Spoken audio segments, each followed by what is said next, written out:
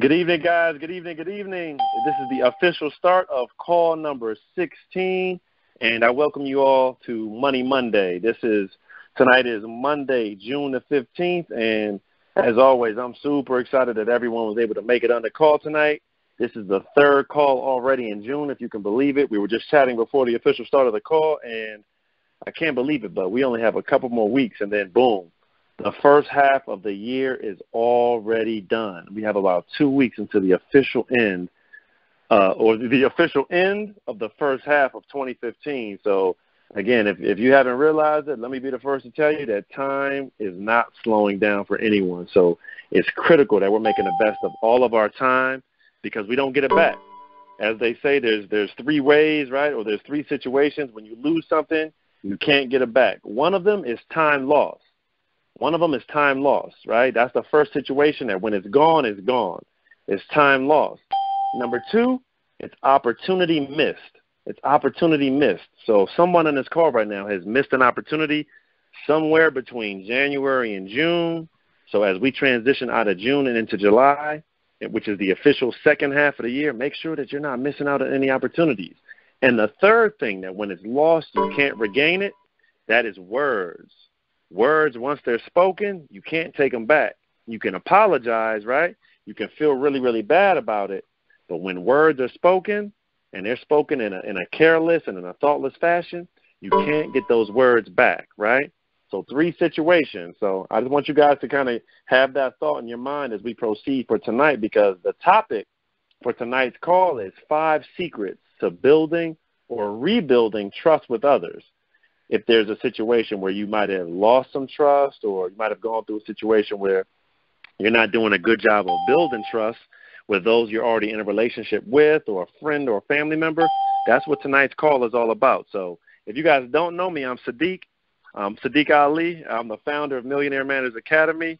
Um, there's several affiliates and ambassadors and folks that work with us, but um, I'm really, really excited to be working with all you all. So I'm a speaker, I'm a trainer, lots of other stuff, but generally speaking, I just love to see people do better, um, especially our young people, because uh, that's the future. That's the future of the world. So whatever we're planting into the young people is eventually going to grow, and we're going to reap what we sow. So we better do a good old passion about spreading this information, information that was passed on to me by lots of different mentors and teachers and just – people that cared about me. So it's only my duty that I turn around and try to give some of that information to to, to the younger generation as well. So my hope is that also whoever's listening to this call right now, that you're also joining in and potentially listening in with a younger person or a younger person. Feel free to invite your mom or your dad or one of your mentors or teachers, etc., because this information, right, is useful for everybody, including me. So each week as I'm preparing for these calls, I'm learning something new each time. Because remember, these calls are about belief, right? And expanding not only your belief in your own self, but also your belief in your own abilities, right? They're also about power, about power. And that is understanding your own power, the own ability that you have to change the world, but also the ability that you have to to change your own circumstances, to change your own life, to change your own future. It's a powerful thing. And as you become more powerful in your own belief, that's when you're able to form bigger goals. Like, so my big brother, he always tells me, my big brother is one of my mentors. We're going to invite him on one of these calls very, very soon. But he always tells me, right, that either your goals, right, will shrink to match your mind, or your mind is going to get bigger, right, to match bigger goals. So that's the whole point of these calls is to be able to expand our mind so we can focus on bigger goals. And last week we spoke about procrastination, right? And most importantly, how to crush it. How to crush it swiftly and decisively because if you're procrastinating and or wasting time, then again, that's one of the things that you can never get back when it's lost. That is time wasted, time lost. So I want everybody to be thinking about that, especially as we talk about what we uh, what we're going to discuss tonight, which again is five secrets, five tips, five keys to building or rebuilding trust with others. Okay, you know, as, as normal, we always cover some ground rules, which are have fun, participate, especially at the end when we do Q&A or testimonials about how you used the previous week's information. I want to hear from you. I want to hear from you. Or maybe the reaction that you got with someone that you love, know, or trust, etc. Because that's a big part of it. That's how you learn is by teaching this information that you're getting from the calls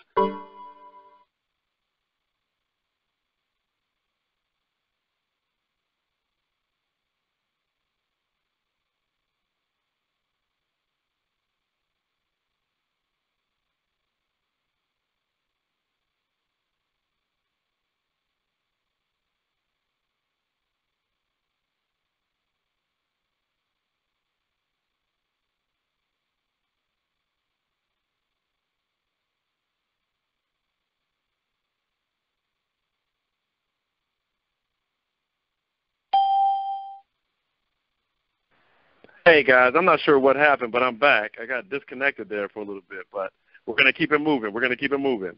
Um, but I, what I was saying is that, of course, you learn as you teach. That's one of the things that teachers will tell you is that you learn as you teach. So the more you're able to share from the information as you learn on a day-to-day basis, the the better you're going to get it. The more sense it's going to make to you. So hopefully that makes sense. Uh, make sure you guys follow us on social media. And if you don't have my number, I always get my personal cell phone number. So if you guys ever need anything, call or text me. Call or text me. My number is four four three two seven one three six zero four. So again, shoot me a text, a question, etc. And uh, we're going to keep this thing moving, all right? And again, take some notes so that way, again, it's easier for you to recall what it is that you learned from this call, okay?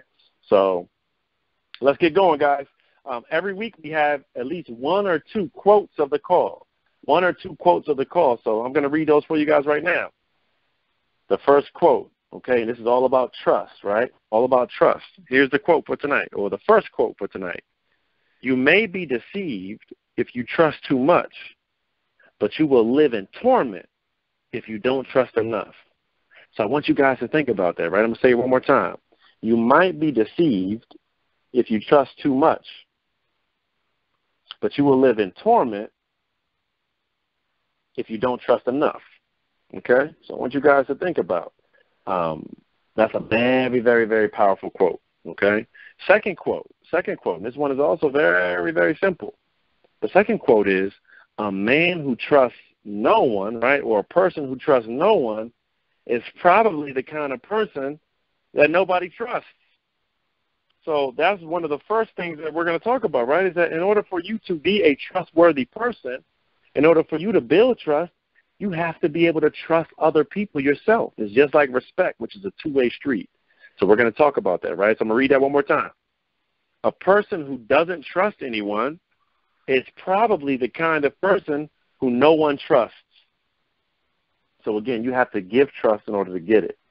Because if you think everybody's out to get you, the chances are you're probably a person who's out to get everybody else. So I want you guys to think about that, right? So let's get into the information for tonight, guys. Five tips, five secrets, five secrets to building trust. Number one, keep your word at all times. Keep your word at all times. This includes big things as well as sometimes we overlook the small things. For example, returning phone calls. You tell again, your grandmother or your grandfather or a friend that you're going to call them back, but you forget or you get busy, right? You just lost maybe not a big amount of trust, but you just lost a little bit of trust with that person because you didn't keep your word. You said you were going to do something, and then you didn't do it, right? Another example could be something like being on time. See, every time we accept an invitation, it's sort of like a commitment. It's sort of like a promise that you're going to be there and usually be there at a certain time. So if you're not there at that certain time, you again you've lost a little bit of trust. You've broken a little bit of that person's commitment that that they expected from you, that they entrusted with you, right? So again, being on time, returning phone calls, and again, especially saying that you're going to do something and then doing it, right? But not just doing it for the sake of doing it, but doing it the right way, and then again, doing it on time. That's a really, really big deal. See, a lot of folks don't understand that. When you talk about keeping your word, it's a it's a it's another one of these words, right? It's a synonym, right, for a very important word. Another important word called reputation. See, every time you give your commitment to do something, every time you give your word, you're also putting your reputation on the line at the same time. And remember, your reputation is what people say about you when you're not around. That's what your reputation is. And you don't want people to say your name like, oh, there's Sadiq again. You want them to be like, oh, man, look, there's Sadiq. We're excited. We're excited he's around. Right? So picture, how do people say your name? Do they think that, again, you're going to keep your word? What's your reputation like, okay? So that's secret number one is simply keep your word. Do what you say you're going to do. Number two, also very simple. Number two, tell the truth. Tell the truth. This is one of the most important keys to not just building trust, right? But to building and keeping good character and a good moral compass, right? A compass, of course, right, points you in the direction that you want to go or that you need to go. Most compasses, right? The object of the game is for you to be heading north. That's up, right? So that's a metaphor for going up, for staying straight, right? For being in the up, for being in the up and up, for uplifting others. So a good moral compass is going to point you in the right direction. So another another thing to sort of keep in mind when you're talking about telling the truth is that you know a, a famous saying is that if you had to lie about it after you did it, then it probably wasn't worth you doing in the first place. Because anything you do it should be exciting. It should be worth talking about. It should be worth spreading good cheer about. But if it's not something that you have to be ashamed about or you have to hide or eventually lie about, then it probably wasn't a good idea to do it in the first place. And then you might even want to ask yourself, after you tell a lie, a story, a fib, or a little white lie, uh, whatever words that we want to call them, right? Is that why did I have to do that in the first place? why did I have to lie about it in the first place? Right?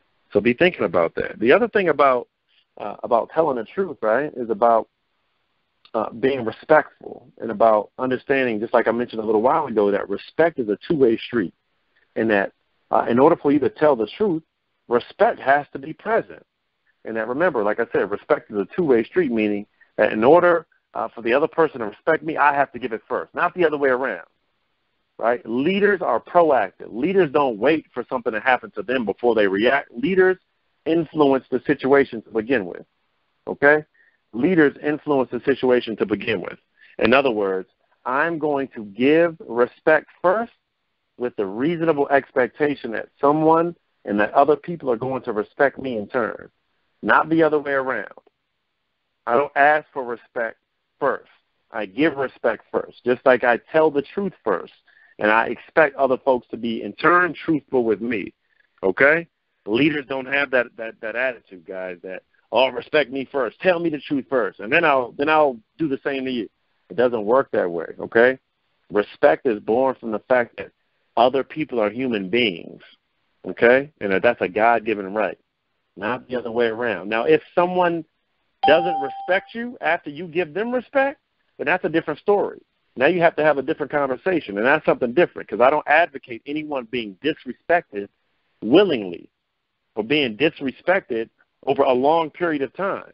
You have to stand up for yourself. But again, if you're being a respectful person to begin with and somebody else doesn't respect you, that means you need to spend less time with that person and or give that person some feedback. Tell them about themselves in a, again in a loving, respectful way. And then you keep it moving. So all of that, guys, was tip number two, which is tell the truth. Even even if it means sometimes telling the truth against yourself. Okay? Number three, guys, number three is be transparent, right? Be transparent. You guys know, like, scotch tape or like packing tape, they call it transparent tape. That's because you can see through it, right? That's how you want to be when you're dealing with other people. But trust me, this is much easier said than done, and I will be the first to admit it, right? Being transparent is the cousin of being honest and telling the truth, right? But sometimes it can be even more challenging because it requires us to not just tell the truth about others or the situations that we find ourselves in, but guess who we're telling the truth about when we're being transparent? Ourselves, me. In order for me to be transparent, I have to tell the truth about me, about myself, about what it is that I feel, about what it is that I'm dealing with. That's a lot trickier than oh, you know what? I have to tell somebody about themselves. I have to give somebody a tough message or give somebody else tough love. That's relatively easy compared with having to tell the truth about how you feel. So in those days when somebody says, "Hey, how are you feeling today?" You can either say, "Oh, I'm feeling great," and deep down you might be feeling rotten, Right? Those are some of the days where you have to where you have the opportunity to be transparent and say, you know what, so and so, today I just don't feel that good, and here's why. Now the other person might not be expecting you to do that, and they might not even like it. They might not even realize what they asked you to do, or what an invitation they extended to you when they say, "Hey, how are you doing?" But sometimes it's okay to to just be honest, to be transparent, and say, "I'm not feeling really good right now." right? And again, when I'm being transparent, I'm telling the truth to someone else about what I'm feeling, and it can be scary, right? Because our feelings and our innermost thoughts are all that we have that's sacred sometimes, isn't that right? Those are our innermost thoughts. Those are our private thoughts and feelings. And of course, that's true. But again, in order for you to be cur- uh, courageous and for you to show courage, it means that you have to confront and challenge how you really feel, and then actually find someone Maybe it might be more than one person that you could openly share those feelings with. To again, not just build you know, a relationship with someone, but you can even skip a few steps and actually build a friendship with someone because that's a lot different than just a relationship. A friendship or uh, an, an, an, an ally, right? That's someone who you can sort of trust and they can trust you, that you can build with and they can build with you. That's a powerful situation. But again, it's built on trust, which is what we're talking about tonight. It's built on you having the ability and the willingness, right, and the courage, even though it's scary, having the courage to explain and, and, and share your feelings with someone else. A lot of folks don't have the courage to do that. So, um, and again, it's something that I I work on, and I, I I have to do a better job of every single day, and I know that. But being aware, right, that's the first step. Number four, number four, the fourth secret to building trust is to give freely with no strings attached. Give freely, not of just your material items, right? Not just of your material items, but of yourself, right? Of yourself. That could mean your your your your skills, um, your talent, your ideas, it can mean a lot of different things, right? But not just material items. I want you guys to be thinking about giving freely with no strings attached. That means you just give. And your reward usually will come later on. And many times not by the person who you helped. But that shouldn't stop us though. That shouldn't worry us. Because again, what goes around always comes around. I really, really believe that. It might not be today, it might not be tomorrow, but all, all good things, right? All good things are paid back. So I want you guys to be thinking about again giving with no expectation of anything in return, just doing it because it helps someone else.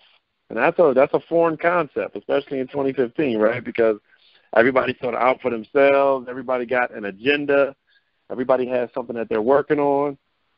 So finding a way to do this first involves sort of figuring out what it is that you're good at. What do you have an abundance of? What do you have extra of that you can give away? That's where you can start. And then the other thing I want you guys to keep in mind is that we discussed this a couple calls back, maybe call five or six. We talked about uh, how to build confidence, right? That was like maybe a two or three part series that we did was how to build confidence. You guys check the website, millionaire-manners.com slash money Mondays. You guys will find those old confidence calls. But one of the things that I talked to you guys about before about uh, how to build confidence is to give, right? Is to give, is to help other people. That's one of the biggest ways to build confidence. It's also one of the biggest ways to build trust is that when someone can count on you that you're going to help them, even though they might not have the ability to pay you back or to pay you with money or give you something in return, you're building confidence and belief in your own self. This is a powerful, powerful thing that you can do to again give freely with no attachment, no strings attached, right? Cultivate your gifts and then use them to uplift others. By cultivate, I mean practice using them. And a free way to practice is just to give it away. You don't have to pay anybody, they don't have to pay you, but you're practicing with other people. You guys know that's one of my favorite words, right? Every single thing you do in life is practice for something else. So again, number four was give freely with no strings attached. A great way to build trust with others and again, rebuild trust that might have been lost. Number five, guys, the last sort of key I have for you guys for tonight, and then we'll do some recap and then take some questions as well.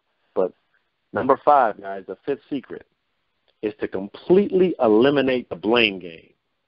Is to completely eliminate the blame game. There is nothing that's more destructive in a relationship than finger pointing. Oh, it wasn't my fault. I didn't do that.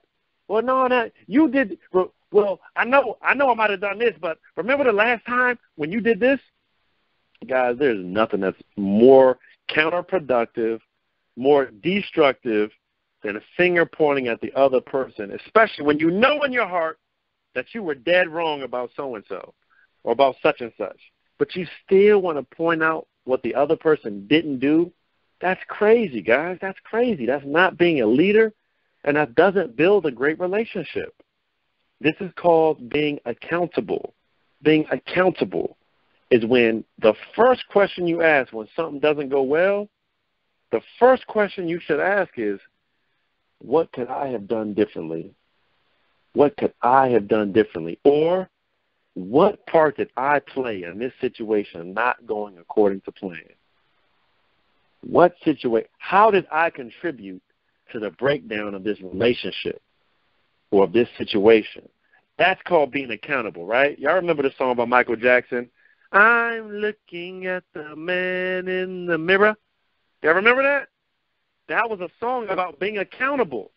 I'm asking him to change his ways. Y'all remember the words? I know we got some young people in the car, right? But everybody remember Michael Jackson. And if y'all don't remember that, YouTube that song as soon as we as soon as we hang up the call. Man in the Mirror by Michael Jackson. Right? And again, that's the woman in the mirror too, ladies. Right? Ladies and gentlemen, everybody has to look at the person in the mirror and ask, how can you change your own ways? How can you become better? Not finger pointing at somebody else saying, oh, it was somebody else's fault that uh, this relationship isn't working or that um, my friend isn't treating me the way or blah, blah, blah. That's not the way winners talk. That's not the way leaders talk. Leaders talk in terms of how can I be better? How can I be better? Right? Anytime something goes wrong, the leader, the aware person, the strong person will always ask those two questions. What can I do better? Or what part did I play in this situation not working well? That's how you improve yourself, right? By constantly analyzing yourself. Not forgetting, though, right, to pat yourself on the back, because we always have to do that, right? Because if you don't recognize yourself, nobody will. But you have to do it in proper proportion and balance.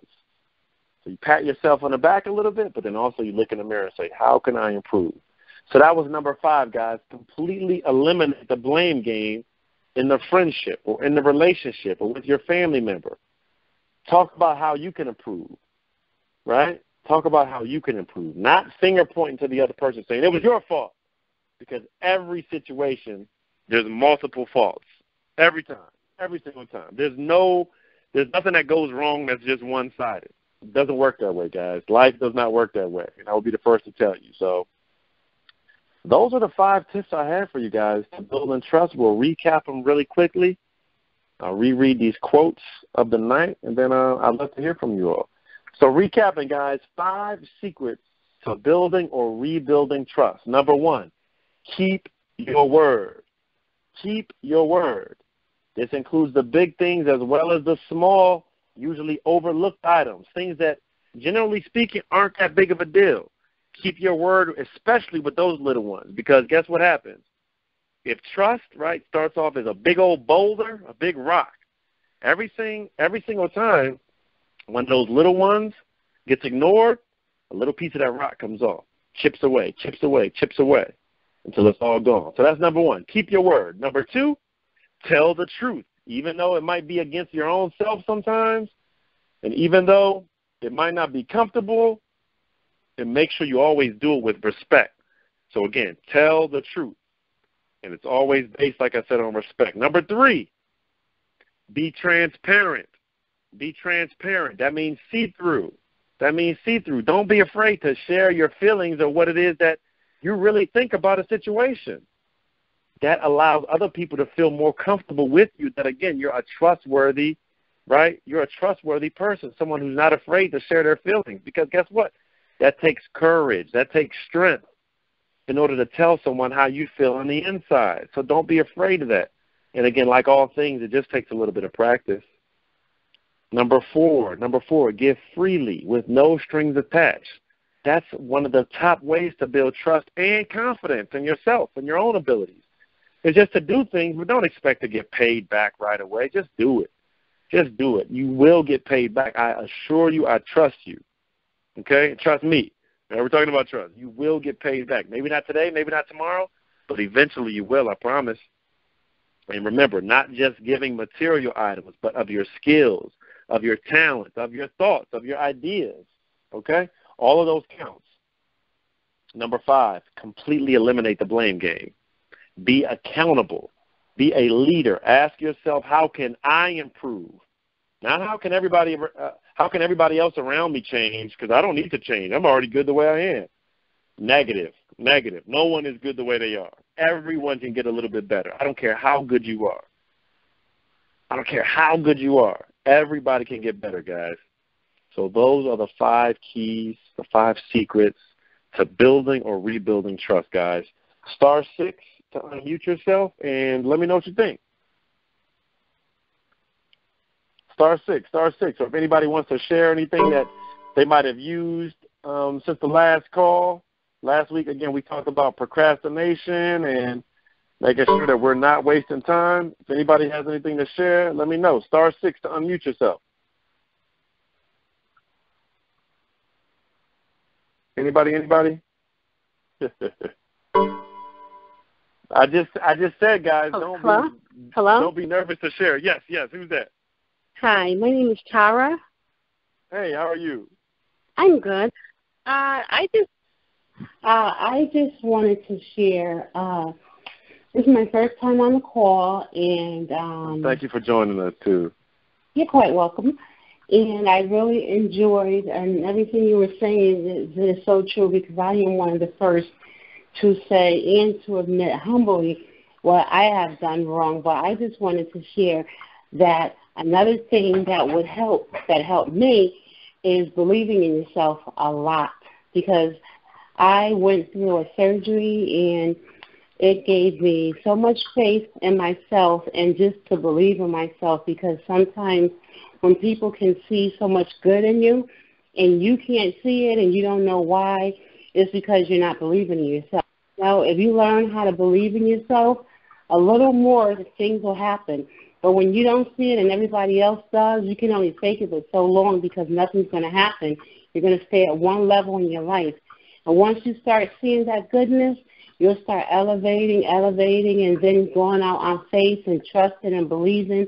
And you'll, you know, get to that level and write things down and you know look in the mirror if you have to talk to yourself or write things down write down like short term goals and long term goals and look at them and repeat them back to you back and forth so i just want to tell you i really enjoyed you know tonight and i'm going to try to come back on next time and it's good to hear positive and you know people taking accountability for their own actions and you know that's a good thing so everyone? I really, really appreciate that. I really appreciate that.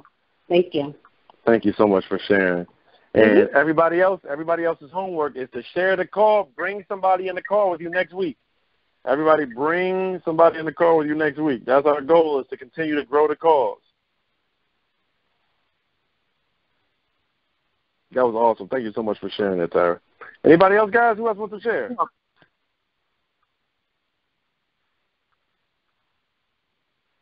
All right, guys, you guys are being quiet again tonight. star six, star six to unmute yourself if you want to add anything before we get out of here. All right, guys, thank you so much. Have an excellent and productive week. Hey, Sadiq. Hey, who's that? Sorry, this is Lance. Hey, what's going on, Lance? Not too much. How you been? Man, all is well. All is well. Yeah, yeah. I just wanted to uh, touch base and just say uh, this is very interesting. This is my first time calling in, and I'm definitely gonna uh, definitely gonna share it. Um, I enjoyed the event this weekend, and uh, this phone call was definitely uh, really nice. Definitely a nice way to start off the week. I really appreciate that, Lance. And like I said, especially with your students, man, anybody that you um, anybody you can think of who who will benefit from this information. Man, we try to keep it light, um, and again, most importantly, applicable, actionable. You know, we I don't want these calls to just be, oh, we're to get on here and just talk. No, I want us to be able to take this information and go and get better with each other. And so I appreciate it, Lance. And, you, and again, you did an excellent job this weekend, guys. Uh, what Lance is referring to is we uh, we did our second conference for young men this past weekend here in Baltimore, and uh, it was just an awesome event. We had nine different speakers. It was just it was excellent. It was so powerful. So we we we're still coming off that uh off the conference high too, a good high.